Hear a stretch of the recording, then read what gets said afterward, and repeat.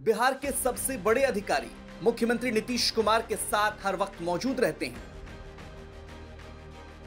सरकार को सलाह देते हैं, सुरक्षा के घेरे में रहते हैं, लेकिन साइबर शिकारी के शिकार हो जाते हैं। बिहार के मुख्य सचिव आमिर सुबहानी साइबर फ्रॉड के शिकार हो गए हैं।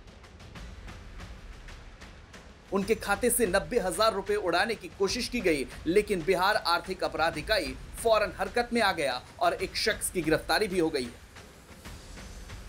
ईओयू के अधिकारी की माने तो मुख्य सचिव को जैसे ही संदेह हुआ कि धोखाधड़ी करने वाले उनके बैंक खाते से नब्बे हज़ार रुपए निकालने की कोशिश कर रहे हैं, उन्होंने ईओयू को सूचित किया। चूँकि ईओयू अधिकारी तुरंत हरकत में आ गए, इसलिए धोखाधड़ी नहीं हो सकी।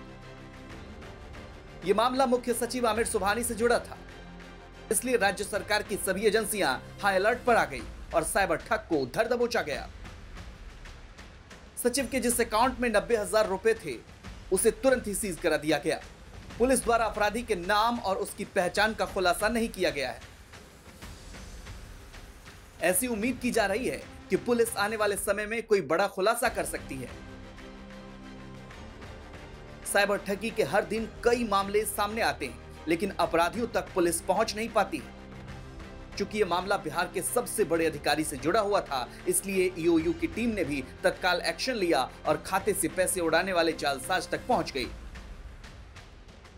झारखंड के जामताड़ा तो साइबर फ्रॉड के लिए पहले से बदनाम है और अब बिहार का नालंदा, नवादा और शेखपुरा जिला भी पीछे नहीं है।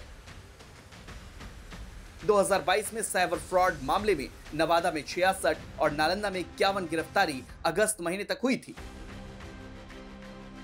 आम आदमी हर रोज साइबर फ्रॉड के शिकार हो रहे हैं, लेकिन मुख्य सचिव की तरह कम ही खुशनसीब होते हैं जिन्हें पैसे मिल पाते हैं।